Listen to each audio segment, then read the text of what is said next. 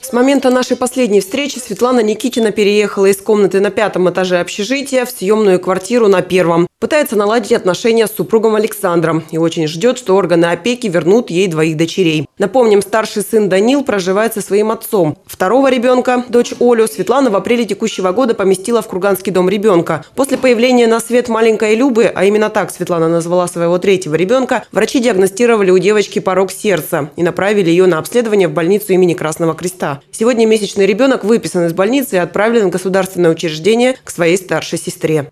В отношении первого ребенка э, продлено пребывание до октября, в отношении второго на три месяца ребенок помещен по заявлению матери в связи с э, тяжелой жизненной ситуацией, сложившейся в семье.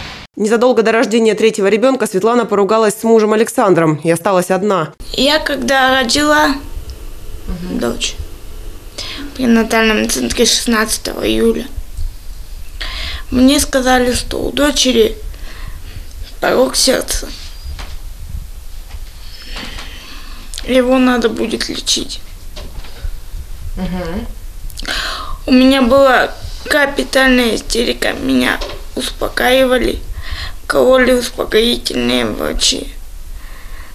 Потом я приехала домой и решила все-таки позвонить мужу. На сегодняшний день супруги не проживают вместе, но Александр постоянно навещает Светлану. Хотя для женщины отношения с мужем отошли на второй план. Она бьет тревогу и хочет забрать детей. Только органы опеки отказывают ей в этом по ряду причин. Необходимо отметить э, проживание в семье э, отца детей, в отношении э, которого значит, возбуждено уголовное дело по факту побоев Светлане.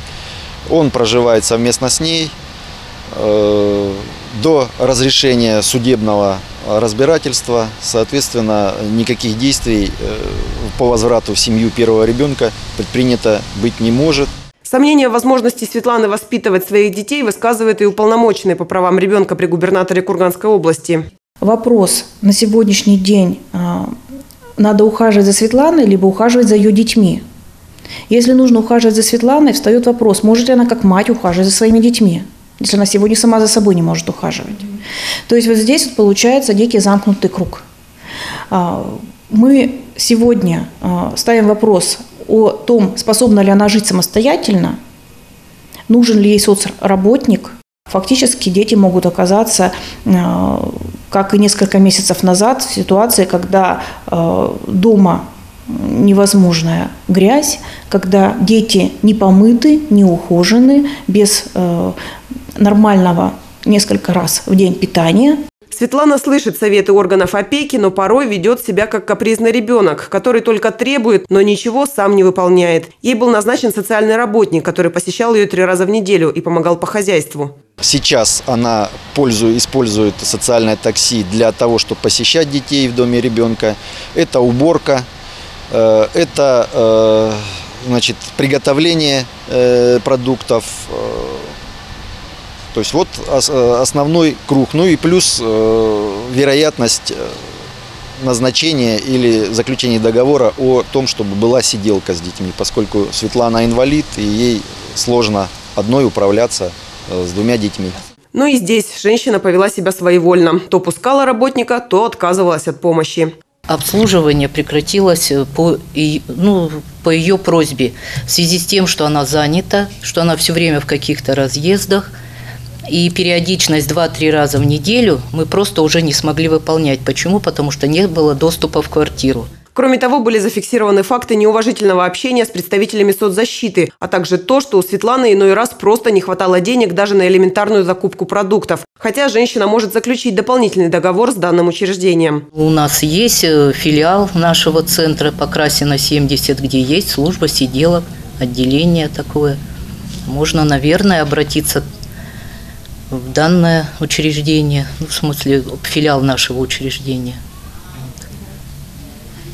Там они по часовой оплате, значит, могут находиться весь рабочий день. Однако Светлана на сегодняшний день не предприняла никаких мер, а только надеется, что как по мановению волшебной палочки дети появятся на пороге. Ее муж также надеется на воссоединение семьи. Я хочу воссоединения семьи, я постоянно со Светой хожу дома ребенка, нарушаю волю. Я могу так не пить, но без справки мне ребенка никто не отдаст. Я же, когда с нами была Ольга, я же не пил, я не употреблял спиртное, я занимался с ребенком, помогал Свете во всем, все, за всем успевал. Вот только кодирование от алкогольной зависимости не панацея от всех бед. Во-первых, Александр все еще отбывает условный срок за нанесение побоев беременной Светлане и считается угрозой для безопасности маленькой Оли. А во-вторых, алкоголизм мужчины неизлечим, поэтому и шансы на возвращение детей в семью крайне малы. Вполне возможно, мы будем рассматривать варианты какие-то пошаговые. А, Сначала одна дочь, потом другая. Либо если, а, ну, но еще раз говорю, мы не можем сегодня однозначно сказать, дети вернутся к маме, либо дети будут в детском доме, либо дети пойдут в приемную семью. Если оценивать интересы детей, сегодня они получают полный комплекс медицинских, педагогических, а, иных услуг, которые требуются для их развития. Меж тем Светлана Никитина такой подход считает несправедливым и не хочет, чтобы ее дети оказались в детском доме. Особую тревогу у нее вызывает судьба новорожденной девочки. Мне все говорят, что не должно быть так, что грудного ребенка не должны отбирать у матери. Марина Богатырева, Ульяна Чипала, Александр Киселев, Кирилл Филимонов. Информационное агентство «Курган.ру».